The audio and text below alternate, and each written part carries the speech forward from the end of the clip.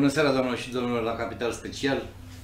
În această seară, a doua zi după Ziua Națională a României și în penultima zi de campanie electorală, am alături de mine echipa Pro-România, în frunte cu candidatul uh, pentru fotoliul la Camera Deputaților, Iulian Opriș, și Marius Rocobete, susținător membru România, susținător în această seară al uh, lui uh, Iulian Opriș. Bună seara, domnilor! Bună seara! Iată că ne revedem în uh, penultima zi de campanie ca să încercăm să tragem niște concluzii lămuritoare pentru electoratul pe care doriți să-l câștigați, nu? în care să scoatem în evidență aturile, în primul rând, nu? Că lumea totdeauna se gândește cum, la plus, nu se gândește la minus, se gândește cum să ia, nu cum să dea. Așa că în această seară vom dezbate uh, cele cinci promisiuni pentru România, ale Pro-România pentru România și la fel cele cinci promisiuni ale Pro-România Hunedoara pentru județul Hunedoara. Uh, să începem cu începutul. Uh, lucru care mi se pare mie că este de maximă importanță este venitul minim de criză. Este o promisiune a, a echipei Pro-România în frunte cu Victor Ponta, uh, că în vremuri de criză responsabilitatea socială este cuvântul de ordine, se spune în, uh, în manifestul dumneavoastră electoral. Este vorba despre, dar hai să lăsăm pe candidatul uh, Iulian Opriș să spună despre ce este vorba. Uh, da, venitul minim de criză este aceea susținere care trebuie să vină din partea guvernului pentru locuitorii țării, pentru populația, marea masă a populației. Având în vedere că avem sectoare din economie lovite tare, grav de starea asta de pandemie, atunci e bine să existe și o intervenție din partea statului și la nivel micro, să zic, doar la nivel macro, la nivel de firme, de companii mari. Și atunci, pentru uh, oamenii, pentru familiile care suferă din punctul ăsta de vedere, cei care și-au pierdut locurile de muncă, cei care au salariile diminuate pentru că lucrează cu jumătate de normă sau, cu, sau lucrează mai puține ore, uh, propunerea Pro România este să se vină cu o completare a veniturilor care se fac în felul următor. Jumătate din sumă o suportă guvernul, cealaltă jumătate o suportă Uniunea Europeană prin vouchere. Ce înseamnă asta? Fiecare familie sau fiecare membru trebuie să aibă un venit de minim 2000 de lei Asta cu tot cu ajutorul pe care ar trebui să-l ofere statul. De salariul pe care îl are. Salariul minim pe economie, 1350 de lei de exemplu. Dacă îl are. Dacă, dacă nu-l are, dacă nu au niciun fel de venit, atunci îi se acordă direct uh, suma. Ce, suma care e prevăzută pentru câți membri de familie sunt. Dacă uh, există un singur individ, este o familie, mă rog, familie, este un singur om afectată, atunci va avea un venit minim de 2000 de lei. Dacă există o familie, fiecare membru va avea un venit de 1500 de lei. Dar nu mai mult de 3500 de lei. De 4500 de lei, pe, am înțeles. 4500 de lei pe, pe familie. De familie, da. Da. Dacă Pro-România va reuși să impună într-un fel proiectul ăsta, este un proiect care va avea succes și care nu vine ca o povară pentru buget. Adică nu este o promisiune care se va face pe tot restul vieții, de exemplu, este o promisiune care se va face și se va implementa pentru un an de zile sau un an jumate, cât va mai ține starea asta de, de alertă. După care bugetul se, se, va eleva, se va degreva de cheltuirea asta în plus.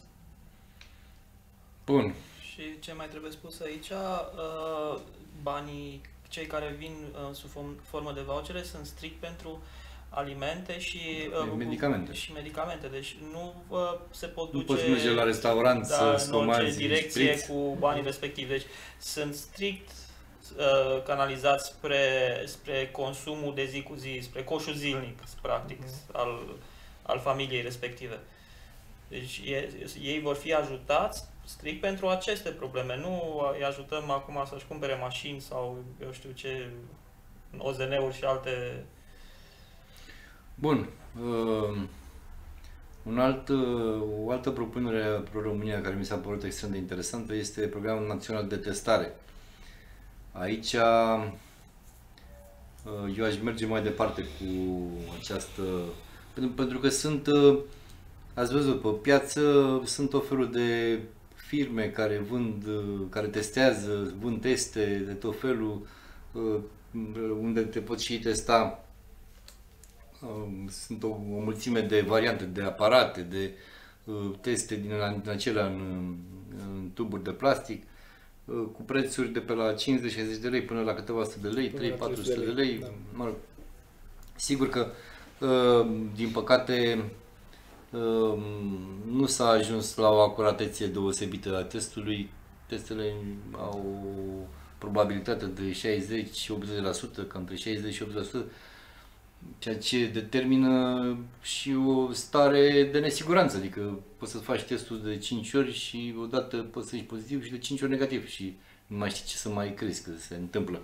Dar, repet, aici Pro România văd că vine cu o propunere interesantă în sensul ca să se elaboreze un program național de, de testare gratuit, uh, plătit de către stat um, și probabil că, probabil că și testul despre care vorbim o să fie un test cât mai, cât mai exact, cât mai uh, eficient.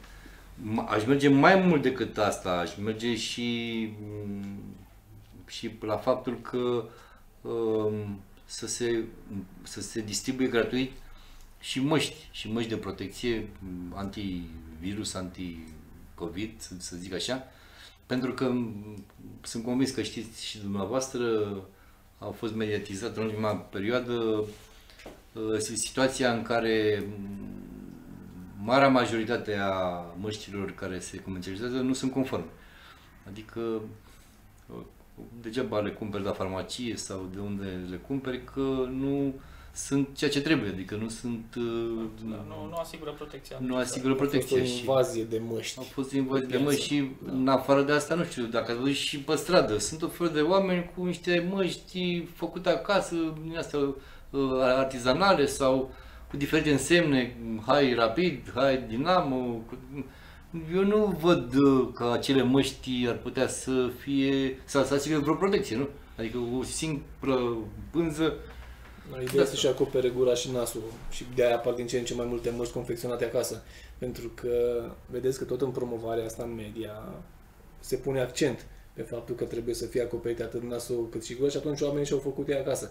Uh, dincolo de asta, așa cum am zis, piața la începutul stării de de alertă când a fost în, în martie, de fapt până s-a instituit starea de urgență, uh, piața a fost invadată de măști de orice fel. Era nevoie de măști de oriunde. Au fost mulți uh, producători locali sau naționali care se ocupau cu altceva și în momentul au început să confecționeze măști pentru că măștile se vindeau. Uh, e o stare, e o situație care, a, din punctul meu de vedere, a fost ușor scăpată de sub control. Uh, vis-a-vis de ceea ce privește protecția și măștile. Iar vis-a-vis de, star, de testarea asta națională, uh, ar fi un lucru benefic. În felul ăsta am putea ține sub, sau încercăm măcar să ținem sub control cât mai bine sau la un nivel cât mai realist situația cu cei afectați de, de COVID, că acum vorbim despre COVID. Uh, nu e o treabă ușoară. Pentru că să distribui un test de o uh, eficacitate cât mai aproape de adevăr, adică o, o eficiență maximă sau spre maxim, sunt niște teste care costă. Dar, uh, până la urmă, sănătatea e mai importantă decât orice și atunci nu, și cât dacă, ar fi o investiție bună. Și dacă e, se face la nivelul statului, probabil că se pot și negocia sumele astea. Că, și sunt și, convins că ar fi și, și în afară de asta, și în afară de asta, oricât de mult ar costa un test în România, vă dați seama că există și un profit uh, economic al, cine, al cărui care, da, da. Al, al aceluia care vinde acel test și suntem obișnuiți aici cu, cu adausuri de 2-300%. Cu siguranță se găsește o soluție din moment ce Pro România vine cu o propunere de genul ăsta. Sunt oameni care cunosc bugetul și și impactul bugetar vis-a-vis de o testare națională. Deci e ceva realist. Absolut. Și uh, testarea, chiar dacă va costa la început, dar uh, efectele în timp uh, vor fi mult mai benefice, deci economia își va reveni mult mai repede, pentru că atunci nu mai uh, închidem restaurante și așa mai departe peste tot să închidem, numai să închidem. Noi vom testa și izolăm strict persoanele care sunt uh, bolnave. Uh, cei care sunt sănătoși ies sau negativ, pot să-și continue activitatea și uh, astfel nu mai închidem piețe, nu mai închidem restaurante, nu mai închidem cinematografe. Ve- vestea bună este că până la urmă președintele Iohannis a gândit așa mai bine și a zis că hai Da. să redeschidem piețele. Păi normal Da. că vine, vine 6 decembrie și... Deși vine 6 decembrie, da. Uh, Avea legea uh, promovată și votată în Parlament, nu, de redeschiderea piețelor, avea pe masă de două săptămâni sau nu știu, de trei săptămâni. De Eu două cred săptămâni. că, de fapt, S-a iau... gândit acum că acum duminică vin alegerile și hai mai bine să deschidem piețele. Și asta e, din punctul meu de vedere, e o decizie populistă. Dar, dincolo de asta, au lansat, da? Nu zvon, că nu a fost zvon. Ei au venit și au zis, gata, închidem piețele. Au luat pulsul oamenilor, au văzut reacțiile care n-au fost uh, blânde și atunci și-or fi dat seama că au greșit. Păi, În momentul în care ai închis piețele, mi-ai blocat producătorul local. Nu, mai sunt, mai sunt, vedeți aici sunt două uh, curente de, curente de uh, opinie, nu curente de opinie, două curente sociologice, să le spun așa. Un curent care spune că PSD-ul este cu câteva procente peste PNL și Pro-România are în jur de 8-9%. Așa. Alt curent uh, sociologic uh, zice că PSD-ul este sub PNL cu vreo 2%, 3% și că Pro-România se zbate în jur de 5-6%. De asta vă spun că m, nu știu ce sondaj are domnul președinte Iohannis, că s-a gândit mai, mai bine că hai să facă o concesie așa de băia bun să redeschidă piețele tocmai în săptămâna asta. Ok, s-au redeschis piețele, dar acum ați văzut și cum, în ce condiții s-au redeschis. Adică oamenii au rămas fără geamuri, fără pereți, fără... oamenii stau în frig. Bine, aici la noi în hală, nu știu, l-a scos ușile de la hală sau... N-am trecut prin Uh, hală, nu, dar- au uh, la piața de afară au renunțat la Știu, paravanele știu, știu, acelea știu, dar la cea dinăuntru... și cea dinăuntru au rămas uh, doar boxele de pe margine. De pe margine, da. Da, interiorul a fost... Și- uh, Interiorul a fost în- încercuit, am văzut că Da, a e fost... încercuit și acolo n-au avut voie N-au, producătorii. n-au avut acces, numai că acum, după ce a promulgat președintele, înseamnă că pun geamurile înapoi sau ce să... Probabil, da. Probabil se, că da. se vor pune înapoi. Dar nu ar fi fost mai bine să deschidă rafturile supermarketurilor pentru Da, producătorii noștri? La, la cei, la Adică nemți, dacă- la nemți, păi da, da, aia sunt nemții, uh, olandezi sau... Nu sunt de aici, de la bă, Bănița. Nu, e, nu vorbim cu producătorul de la Bănița, vorbim cu producătorul bă, austriac, uh, german, uh, olandez, nu? Deci Dar și vorbim noi avem cu- producători buni. Spaniol, de ce aia nu? Nu, nu, nu, vorbesc pe de Nu, mai repede îl, îl faultez pe ăsta de la Bănița, săracul, care Da, are pentru că e- 10 ouă și e mai două... mic, da, Asta e normal. mai mic. Adică e mai mic, e minuscul. E minuscul, da? Decât să te iei cu nemții și cu austriecii, nu? Că nu e. Mai bine îl lași pe aia să, să taie lemnele, să facă ce vor ei, decât să te cer scrie, nu? Revenind puțin la ce a spus uh, referitor la sondajele astea, uh, probabil acum uh, de redeschiderea asta a piețelor e și o consecință a faptului că cel mai recent sondaj făcut acum, care l-am văzut astăzi, PNL-ul a pierdut undeva în jur de 2,5% față de luna trecută.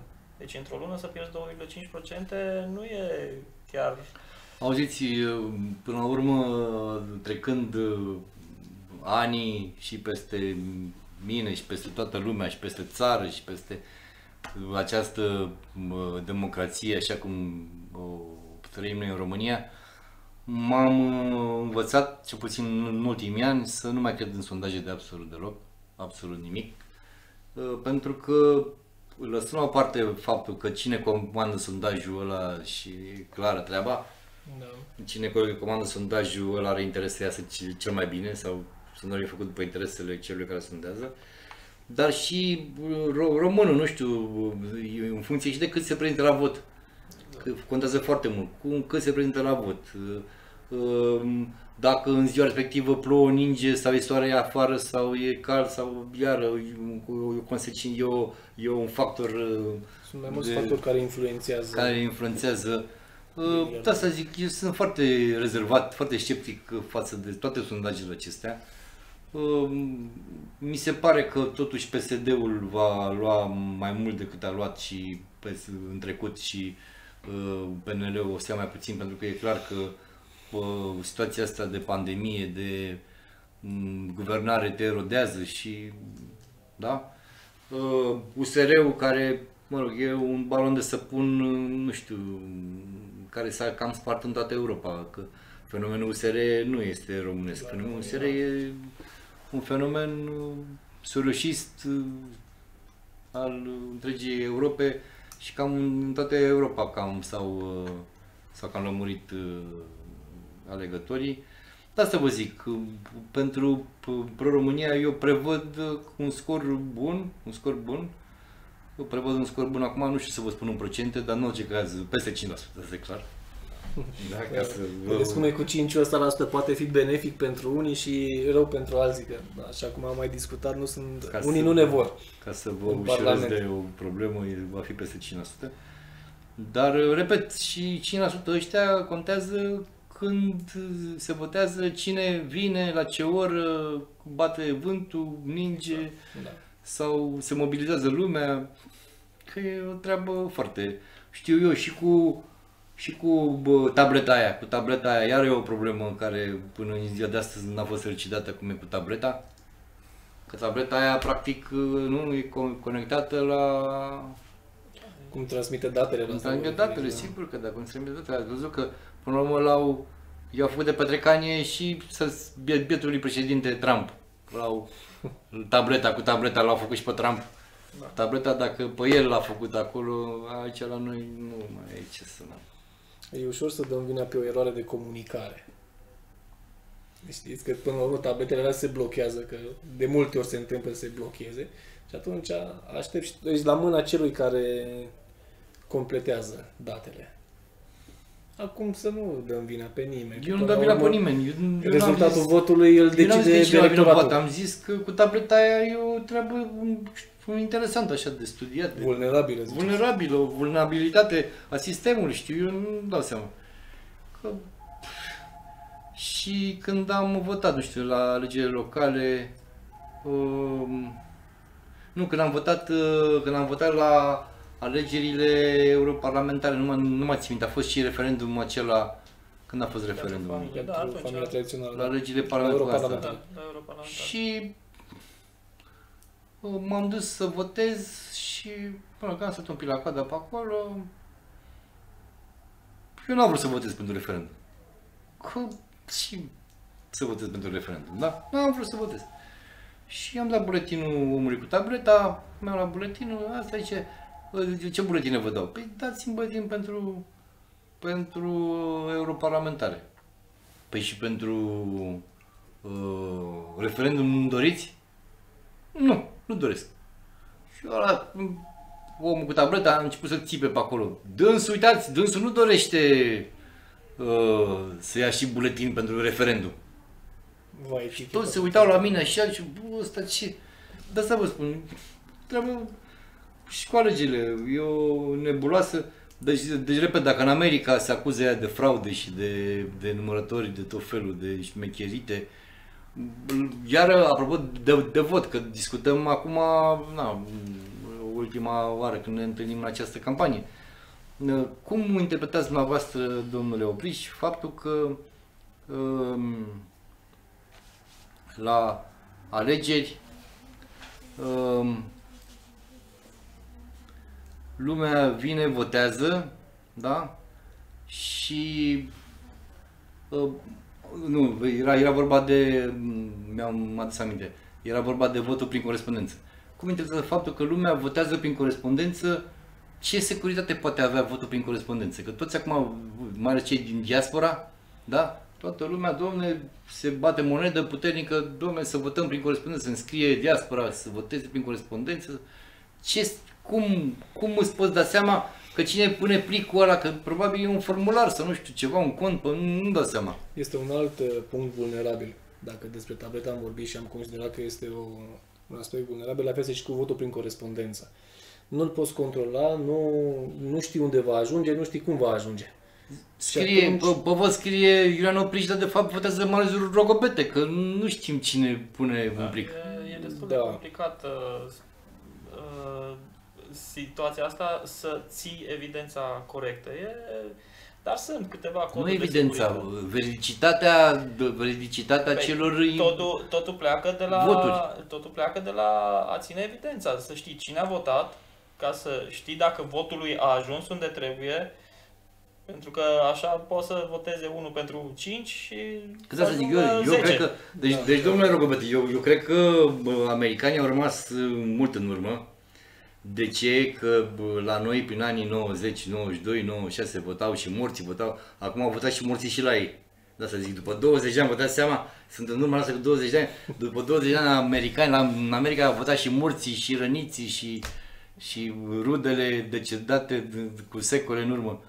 Mă rog, Guvernul- exagerez, dar uh, sunt mari semne de întrebare vis-a-vis de acel, acel vot și în America, iar votul prin corespondență, iar un semn de întrebare și în America cu votul prin corespondență, n-ai de unde să știi că nu votează altcineva, nu? Uh, Guvernul a încercat să creeze cu asta o alternativă a O alternativă, votului dar nu e direct. o soluție, Dar nu mi se pare. S-ar putea ca alternativa asta să ducă către un alt conflict, să zicem așa. Uh, Dacă ați urmărit, și sunt sigur că ați urmărit în ultima vreme, alegerile pentru Republica Moldova. Și ați văzut pe cetățenii moldoveni din diaspora cum au stat cu minți la urne, la secții, afară, cu măști, cu tot ce era nevoie ca să voteze. Eu cred că se putea face la fel și în ceea ce privește Eu aș elimina votul prin, votul prin corespondență, l-aș elimina cu totul. Nu, nu-ți oferă nicio garanție că cine votează este persoana în cauză, nu? Da, de acord. și că își exprimă, își exprimă într-un mod secret, într-un, într-un mod, dacă discret sau mă rog, cum să-i cum spui, trebuie, da. își exprimă votul într-un mod secret, fără să fie influențat de către nimeni. Adică, asta încolo. Cel, cel puțin știu că, știu că în, în secție de votare nu, nu te lasă, nu știu, era un afiș la un moment dat că nu te lăsa cu telefonul mobil, tocmai ca să nu-ți pozezi, Să nu faci poză, da. faci poză la vot. Păi și dacă votezi prin corespondență, tata mare, ce să, să știi, Dar nu este o soluție viabilă. Deloc. Nu este chiar, o soluție chiar deloc nu e o soluție viabilă. Și bun, cu urna mobilă, că pe vremuri, pe anii 90-90, dacă vă aduceți aminte, era treaba cu urna mobilă, că urna mobilă asta se umplea cu tot felul de voturi, dar nu se știa Cine a votat? cine cum, tot așa, au, mergea în cimitir și ieșea cu urna plină, că au votat toți morții, Se toți, vota pe liste suplimentare. se vota poliția suplimentară, da. La fel, uh, uh, traseismul ăsta, am văzut la alegerile locale, traseismul ăsta uh, um, al uh, votanților, mulți votanți își făceau uh, flotant, Zile uh, flotant ca să voteze într-o chiar anumită sunt, localitate. da. mă rog, au fost niște acuze, bine, fondate, dar na, neavând ce să le faci, mai ales prin comune, unde, în comunele unde lupta era strânsă, cine avea nevoie și era șmecher, lua 200 de, dădea, plătea 200 de oameni să-și facă flotant în, în, în Localitatea comună respectivă, și câștiga alegerile. Nu era nicio problemă. Da, unde sunt puține voturi, e, Și sunt ușor de influențat, Bun, ușor de deci manevrat. asta, asta cu votul Dar legislația permite. permite, păi, Și atunci, din moment ce e legal, nu putem spune nimic. e legal, dar nu e normal. Nu e moral. Nu e moral. Da. Și nu e normal. Că și poate să fie moral și să nu fie normal, poate să fie normal și să nu fie moral. Mă rog, acum. Bun, deci în o altă promisiune a Pro-România este sprijinul economic de criză. Pentru a păstra o economie competitivă și a nu face din firmele românești victime sigure ale preluării de către entități străine, trebuie să le oferim șansa să iasă din criză. Da? Ca exemple, reducerea TVA-ului, anularea unor obligații fiscale, subvenționări de chirii, acordarea de granturi și garanții de stat. Bun, aici sunt multe lucruri de bun simț pe care Rom- România le promovează, Da. dar, uh, din păcate, șansele sunt extrem de mici pentru ca România să intre la guvernare într-un viitor, uh, Depinde. într-un viitor Știți că se oarecare. spune că suntem partid de balama. Noi putem înclina balanța. Balama, Balama, numai că, bă, bă, numai că nu știu dacă bă, Ponta, Ponta cu, bă, cu Orban și cu Iohannis, ce ziceți, ar fi, cum ar fi, ar fi compatibil într-o formulă de asta? E greu de spus în momentul ăsta. Da, în politică s-au Da, văzut multe. exact, în politică se multe poate, alianțe. nu se poate spune nu la nimic. Guvernul, în schimb, nici până ziua de astăzi nu ne-a, nu ne-a uh, uh, publicat, uh, n-a publicat un uh, uh, draft de uh, proiect de buget, nu? Adică un proiect de buget ar fi, ar fi fost normal Să să fie stăm în deja. luna decembrie, să Da. măcar, măcar să-l vedem. Mm, Normal ar fi fost să-l și voteze până acum. Dar măcar să vedem proiectul de buget, nu ne-a prezentat uh, guvernul PNL niciun proiect de buget, ceea ce mă duce uh, firesc cu gândul la faptul că vor urma majorări de TVA, de taxe și impozite, Nu tăieri pot de face un salarii buget. și pensii, concedieri, tot felul de lucruri. Ca să nu spun că ne paște și o vista Fondului Monetar Internațional, că ăia când vin, știți foarte bine, domnul, domnul master, lucrați la uh, complexul energetic Hunedoara, nu? Unde, unde mereu când a venit fondul monetar pe aici, mereu a zis să dați afară, să tăiați, să Da. închideți, să faceți, să dați. Ca economist, nu vezi decât cifrele, nu vezi altceva și atunci, normal, complexul energetic știe toată lumea că e într-o situație economică precară, să nu zic mai rău. Dar, na, acum, fondul monetar... Bun, dar făcând o paranteză la toată povestea asta cu Pro-România și cu alegerile, vis-a-vis de, mă, referindu-mă la, la complexul energetic Hunedoara, mă rog, am mai de ani de zile cunosc fenomenul și am mai vorbit cu tot felul de directori generali, cu tot felul de secretari de stat, cu tot felul de miniștri care s-au perindat pe parcursul timpului în, în domeniul minier. Uh, Huila din, din Polonia este mai ieftin de scos la suprafață decât huila din România? Uh, e mai ieftină în ce context? E mai ieftină pentru că acolo s-au făcut investițiile la timp. În, în contextul, nu știu, de la ce, de la ce adâncime se scoate huila din Uh, Polonia? adâncimea nu ar fi o problemă atât de mare cât uh, uh, tectonica. Tectonica e diferită acolo. Acolo stratele sunt mult mai vaste, mai largi, mai înalte. Uh, un abataj care le echipezi acolo merge 3, 4, 5 ani de zile. La noi un, echip, un abataj maxim 2 ani de zile. Și sunt lucrările premer- premergătoare unui abataj și mutarea lui și uh, aici pierdem noi practic- foarte mult. Deci, practic, lucrările de amenajare lucrările conexe uh, exploatării efective. Acolo, acolo pierdem noi foarte mult comparativ cu polonezii cu- sau cu, ia, și cu ucrainienii. Și ucrainienii au, Bine, uh, stratul la un care am înțeles că este un pic la suprafață stratul. aflorează. Și la noi, în Valea Jiului, aflorează stratul. Nu, nu asta e problema. Unde? Că în afară de groapa de la, de la Valea de Pește, acolo Uh, S-a nu cam, s-a cam exploatat ce a fost aflorat, dar stratul în- la început a fost a aflorat și la Petrila și la uh, Lupeni și la Valea de Pești, cam peste tot a aflorat, cel puțin pe capete. Dar uh, aflorimentele astea, unele sunt rentabile economic, altele nu sunt.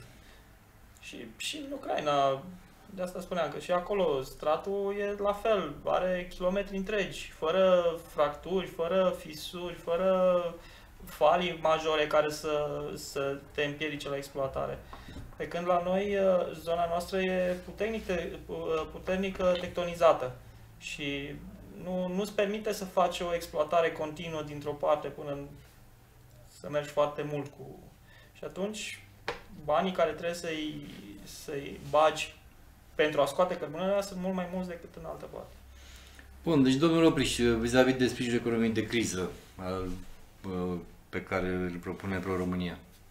Aș vrea să fac o remarcă aici la vis-a-vis de reducerea de TVA. Tot guvernul Ponta este cel care a redus odată TVA-ul de la 24 la 19%, E adevărat. ceea ce a avut un impact de la, de la pozitiv. 20 Da, 22, 21, sau 21. 21, 21. da, de la 21 la, la 19%. 21. Ceea ce a avut un impact pozitiv asupra mediului privat, în primul rând. Principalul motor al economiei românești. Dacă se reduce, sau dacă s-a reușit din nou uh, o reducere de TVA, asta s-a resimțit în bunăstarea companiilor, cu siguranță. Uh, Anularea unor obligații fiscale.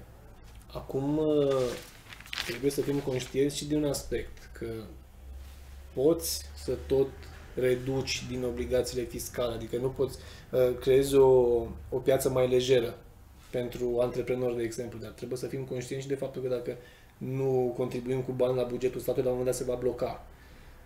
Atunci aici va trebui găsită cumva o soluție care să fie... Că mai împrumutăm acolo câteva Hai miliarde. să evităm împrumuturile, știți? Că până la urmă ideea este să ne gospodărim ultimii- singuri. Cel puțin în ultimii 5-6 ani s-au împrumutat și Păi- guvernul PN, PSD, s-au împrumutat și guvernul PNL.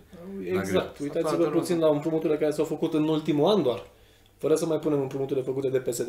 În ultimul an s-au împrumutat PNL-ul mai mult cât s-au împrumutat PSD-ul în 3. Și atunci noi va trebui să plătim. La La un moment dat, la un moment dat, vor, toate împrumuturile astea se vor resimți în Cineva va taxe, trebui să le plătească accize. la un moment dat. Exact. Ne va crește combustibilul, energia, știm, taxe de drum noi vor apărea inevitabil. Uh, subvenții pentru chirii, da, pentru mai ales în ceea ce privește starea asta de, de alertă, în condițiile în care există companii care nu funcționează la capacitate maximă, ar fi de bun augur. Că, da, aici ține tot puțin de, de chi, nu de chiriaș, de cel care închiriază. Da, să înțeleagă situația. Într-un mod sau altul, cu toții suntem afectați. Și atunci, dacă guvernul intervine și sprijină situația asta, ajută la menținerea unor afaceri pe piață. Ceea ce se va resimți pozitiv în economie. Adică o firmă care continuă, care există, care își plătește oamenii, care nu își închide porțile, va aduce contribuție la buget. Uh, Sunt măsuri bune și bine gândite pe care Pro-România, noi, încercăm să, să le expunem, să le arătăm oamenilor cu ce vrem noi să venim pe piață. Bun. Acum să trecem la promisiunile pentru județul Hunedoara. Uh, Este șoseaua rapidă Sfântul Harm Petroșani ca promisiune. Prima condiție pentru dezvoltarea economică durabilă a județului Hunedoara este mobilitatea. Pentru persoanele fizice acest lucru se rezolvă printr-un transport public local, iar pentru firme se poate rezolva prin căi de ru- rutiere de viteză. Traversarea județului Hunedoara de la est la vest este rezolvată prin autostradă, dar traversarea județului de la nord la sud este o problemă. Iată de ce, în calitate de viitor parlamentar, vom susține cu prioritate realizarea șoselei rapide care leagă centrul județului Hunedoara de Valea Jiului. Uh, Bine, eu am, uh, am o părere vis-a-vis de acest subiect că nu centrul județului către sud eu ar fi o problemă, că DN66 care este foarte bun, executat de terminat de 5-6 ani, nu? De vreo 5-6 ani, cam așa. Da. Dar e o problemă cu de la centrul la nord.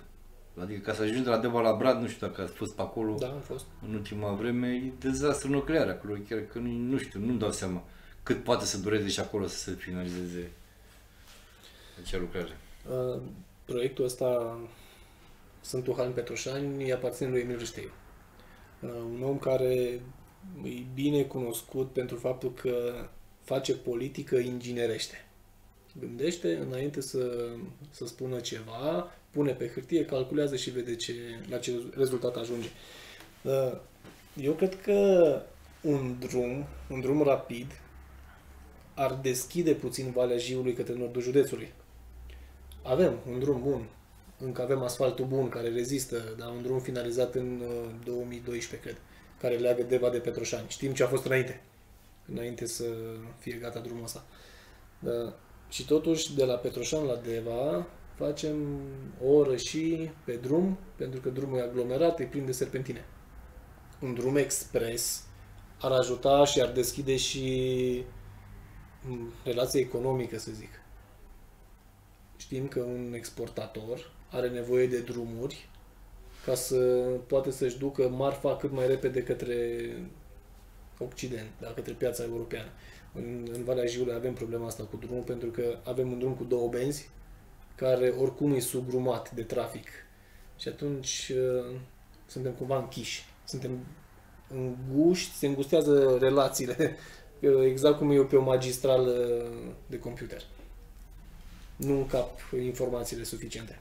Ok, da, rămân, da, e, e ok ce spuneți, sigur că uh, drumul, uh, toată, orice drum de mare viteză este benefic pentru că un drum de mare viteză influențează prin creșterea vitezei și a economiei, economia Da, ca se dezvoltă. plin de viteză pe, având șosele de viteză, nu? Um, Așa cum uh, producătorii de autoturisme mari, grupul Renault și grupul Ford, au uh, pus problema uh, creării unor căi de acces de mare viteză pentru ca să ajungă cât mai repede în Occident cu produsele lor, nu? La fel și cea în județul Hunedoara, sigur, m, apariția unor, unor căi rutiere de, de mare viteză influențează în mod benefic economia, dar înainte de, de toate să se finalizeze sărăcia aia de drum care a văzut uh, uh, izolează cumva municipiul Brad, nu știu, e municipiu sau Da, e municipiu. municipiul Brad îl, îl izolează acolo, că săracii au și în sus spre vârfuri și în jos spre Deva, drumul e în lucru și nu știu cum ajung acolo să se aprovizioneze. E, mă rog, o situație delicată. Sunt și ei tot, de fapt, cred că sunt mai, uh, mai defavorizați decât noi în Valea Jiului. Da, asta vreau să spun. Da. Asta vreau. Bun, un alt, uh, o altă promisiune a Pro-România pentru județul Hunedoara este transportul public județean. Măsurile se adresează actualilor, dar și potențialilor utilizatori ai, ai transportului public. De aceste măsuri ar trebui să beneficieze în special văznicii, familie cu copii și nu în ultimul rând persoanele cu afecțiuni locomotorii. Sistemul de transport public sunt esențiale, sistemele de transport public sunt esențiale pentru redresarea economică și pentru menținerea acordului ecologic și a agendei privind schimbările climatice. Uh, Proiectul ăsta pleacă de la exemplu pe care îl avem în Valea Jiului, Green Line. Și atunci uh, noi, Pro-România, ne-am Cât gândit- lumea ți-a adus aminte de Green Line? Green Line e un proiect care trebuie finalizat de 2 ani, nu știu. și Aveți... probabil va mai dura ceva până se va finaliza. E aceea situație, nu, nimeni nu știe ce se mai întâmplă, unde mă, suntem. Mă bucur că a fost sursă de inspirație pentru, pentru Pro-România cu Nedoara, numai că, din păcate, nu e finalizată această treabă. Poate reușim noi să-l ducem la nivel județean. Și Da. atunci, de aici s-a plecat. De la Aveți- Green Line Valea Jiului, ne-am, ne-am gândit să le extindem cumva la nivel județean și de ce să nu facem un transport public județean?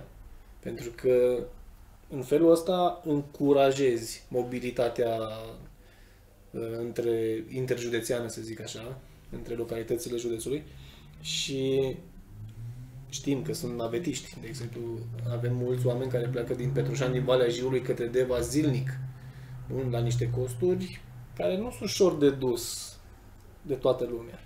Și atunci e nevoie ca o- omul să fie susținut să ajungă și în partea de nord a județului. Să aibă un acces mai, uh, mai ușor.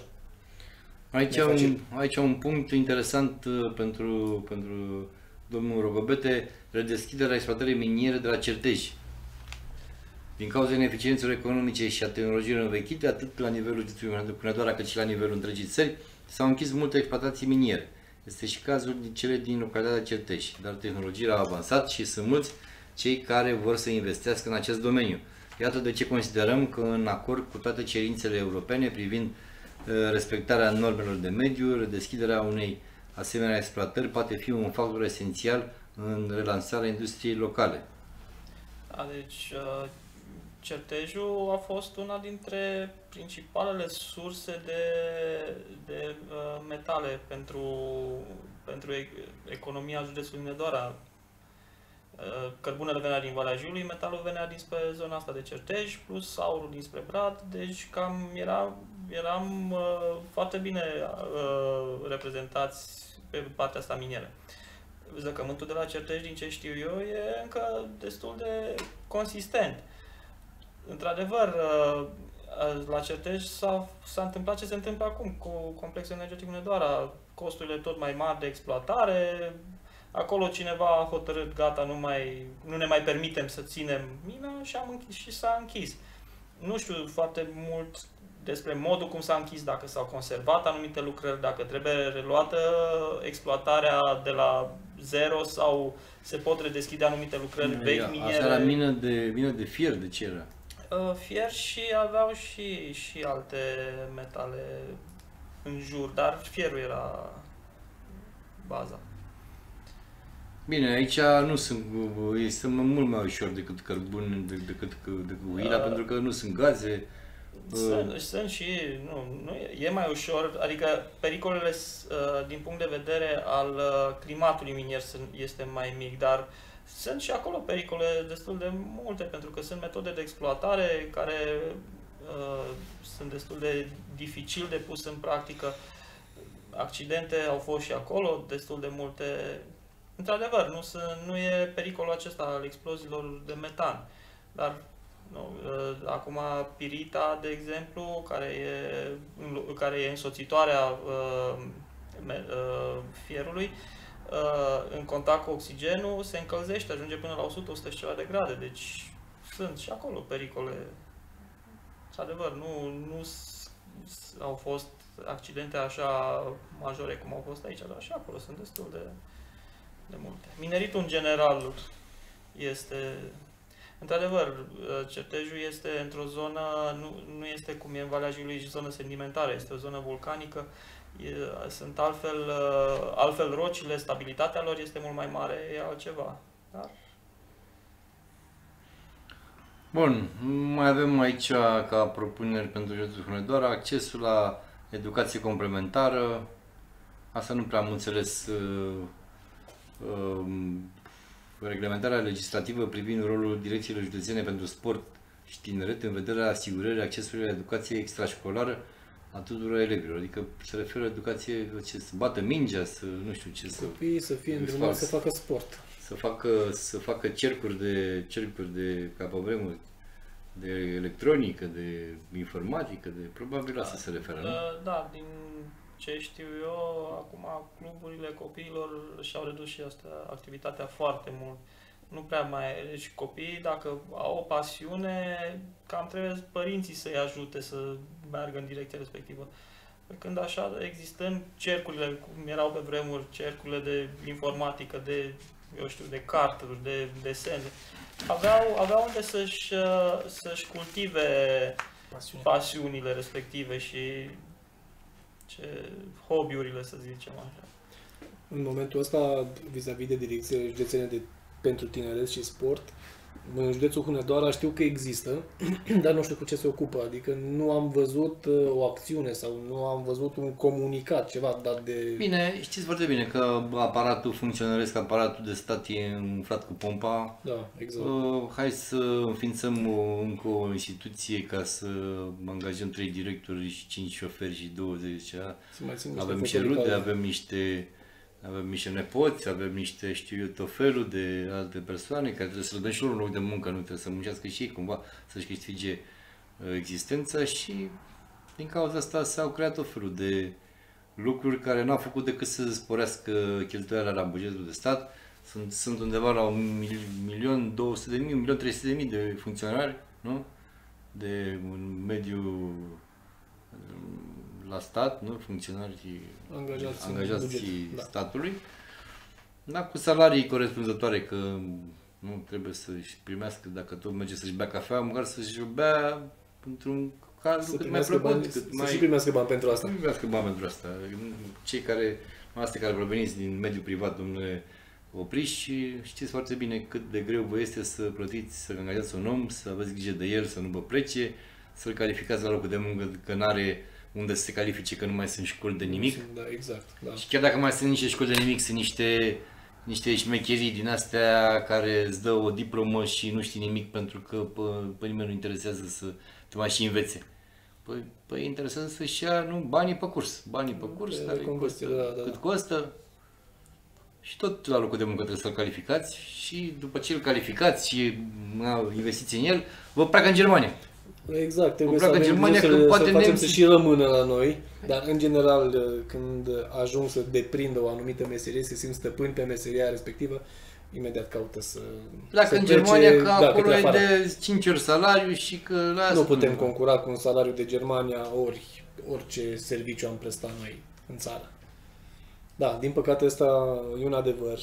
Și de asta, da să vă spun, apropo de, apropo de faptul că la stat, nu la stat, dacă tot stai și mm, iei 1000 de euro salariu, nu la stat, de ce să mă plăci în Germania? Că în Germania probabil muncești pentru, banii ăștia. muncești pentru banii ăștia, da, hai să zic că ai salariu 1500 de euro sau 2000, dar mai și muncești. Decât să muncești, mai bine prefer să stai pe un salariu mai mic de 1000 de euro în România, nu?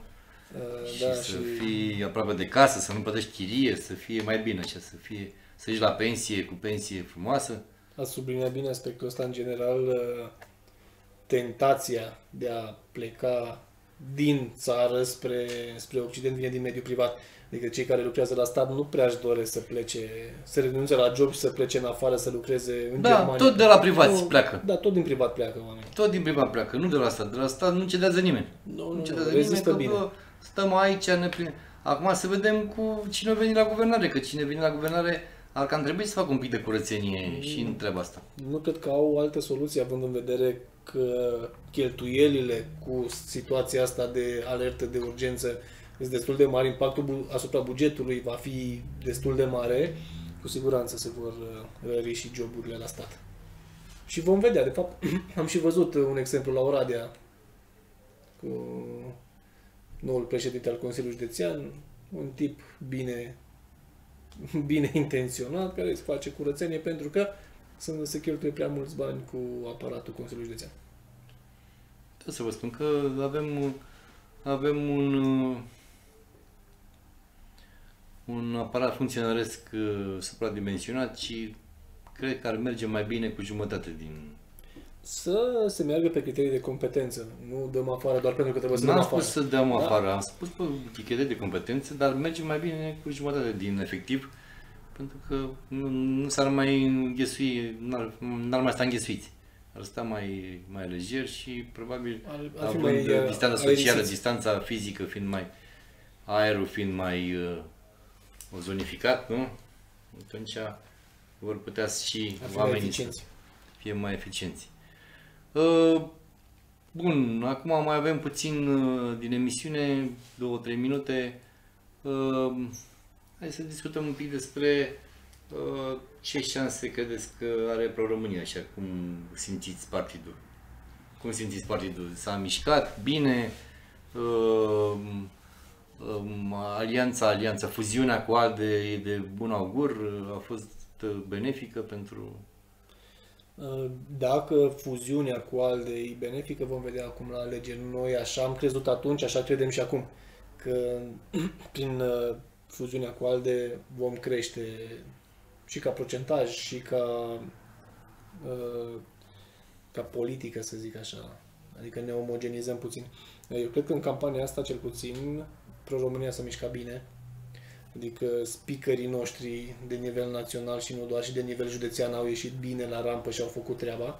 Uh, Am încercat și noi să ajutăm cât am putut la nivel local și eu cred că cel puțin noi pe Valea Jiului vom rămâne la 90%.